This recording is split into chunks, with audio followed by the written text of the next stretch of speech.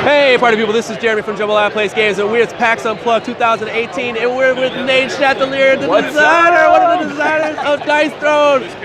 Please tell us about this awesome product for people who don't know, actually. There's still some, there are very few people Yeah. who don't know about Dice Throne at this point. But go ahead and tell us a little bit about the game, and let's look at Dice Throne 2. Oh yeah, right here in front Uh, of me. Thanks for having me on the show, man. Yeah. I'm so proud to be a part of Jambalaya. Uh, I'd love to tell you about it. So this is now Dice Throne Season 2. Uh, in Season 2, we have obviously upgraded the, the visual quality, the aesthetics, the cards, everything quite a bit. But let me tell you what the game is. It's like Combat Yahtzee with a whole lot more strategy than that sounds like. I get three rolls total, and when I'm done, I'm gonna use these numbers or symbols to activate one of these abilities to attack you with. So like right now, I got two blades, and I could re-roll these and try and get more blades.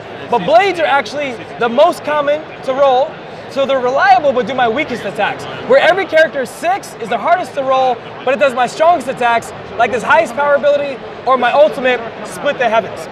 So I could, now I can decide what I want to do here. I also can look at numbers in a row. So like a small straight is four numbers in a row. So if I had four, like three, four, five, six, that would be a small straight. Or all, all my dice in a row would be a large straight. So I'm kind of close to Glorious right now, though, Yeah. and that's a pretty good ability. I'm gonna go for that. So I need to roll one more blade. Come on, I need a blade.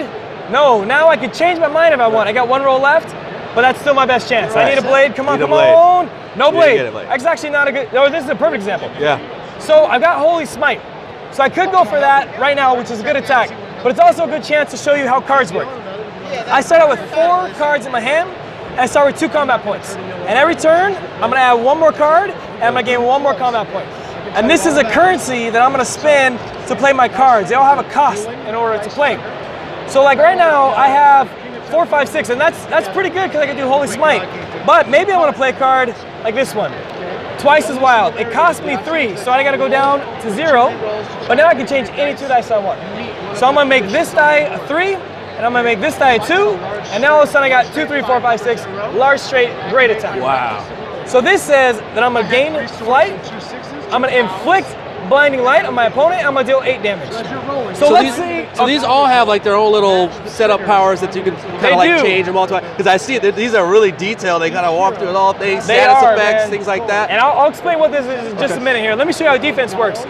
So let's say that I was attacking you and you were the cursed pirate. I put blinding light on you because my ability said to, but now you get to defend yourself, which tells you to roll four dice. You want to do it? You want me to do it? I'll Oh, do I'm it. doing it, I'm Okay, doing you got it. You got it. Roll those four. What do you got? nice roll. Very good roll.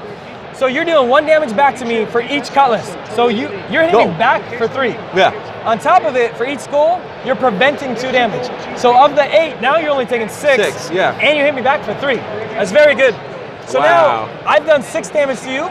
So if you were at 50 health, we're gonna go down to 44, and the goal is get you to zero to, zip win to the zero. game. Wow. Now if this were a team game, you'd each have your own stuff, but you would share this health pool between your team. Okay. So now, what the heck are these things you mentioned earlier, right? Yeah. So every character has unique status effects that are thematic and unique just to that character. Flight, for example, is something for the Seraph, and if, and if I gain, if she gains this, then she can spend this token which she's defending and roll two dice. If, Oh. e- if either of these are six, I fly away and take no damage. Ah, you got me. But I could still play cards, for example, Yeah. a single wild card, and say, that's a six, Right. I'm taking no damage. So they all have unique status effects. Now lastly, is These characters are so much better. they are. There's Oh, man. permanent upgrades. Yeah. So Glorious does six damage, but Glorious 2 does seven damage. So if I pay two, I can upgrade it for the rest of the game. I have a better attack. It's a 30 minute game, and it's two to six players, everything you need, all included in the box. Man, thank you so much. I know people are so excited for this game. I, I, I can't even believe you have it here. There's, people, like, there's so many people here. Very Man, few. It's crazy, man. So uh, just tell us a little about this and where can, where can they get this now, the uh, season two bundle? Yeah. So uh, on, if you go to dicethrone.com starting uh, Tuesday, December 3rd, no, 4th, uh, then you'll be able to pre-order from our website. Uh, and you'll be able to get this, which will never be at retail.